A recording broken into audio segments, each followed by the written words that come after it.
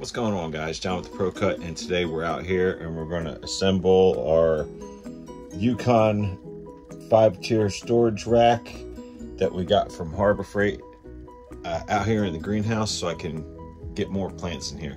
So let's get to it. So as you can see you've got posts that go between the shelves, you got end plugs and a couple of hooks to hook to a wall if you're putting it in a garage and then you've got five shelves. And so let's start assembly. You just put the posts in here and then you put the end plugs on the bottom of the bottom one and the top of the top one and that's all there is to it. So there are differences between the top and bottom caps, that being your bottom caps are hollow and your top caps actually have a cap. So your bottom caps are simply going to slide into the bottom holes on one of your shelving units and then you're going to put four posts in and then your next shelf is ready to go on. And then the next shelf and the next set of posts and so on and so on. So in my greenhouse I can only accommodate four shelves high. So the fifth shelf I'll put the legs on it and I'll set it on top of my table over here now you can see I've got the fifth shelf. I put the legs on it and it's just sitting on top of this table. So I was able to clear this stuff off of here.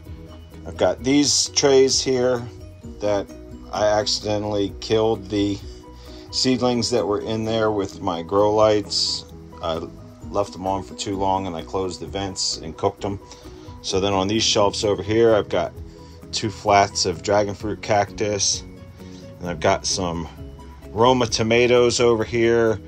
I've Got a little juniper, some more dragon fruit cactus. I've got a pawpaw seed back here that's not germinated yet. I've got some peas that have germinated. Uh, these caps, I don't know what I'm going to do with them as of right now. I don't really see a reason to use them. And then up here, I've got another flat of dragon fruit cactus. And I've got some sunflowers and some spinach that I'm trying to germinate. And then in here, I'm still trying to germinate some lettuce. And these are the cactus that I burned with the lights, but I'm seeing if they come back, we'll see. And then there's some herbs that I'm trying to germinate here. And it looks like there's one little chive popping up in this corner. So we'll continue to see what happens with them.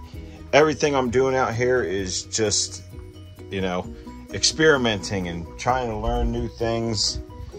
And in my self-wicking container, the baby spinach is starting to look pretty good.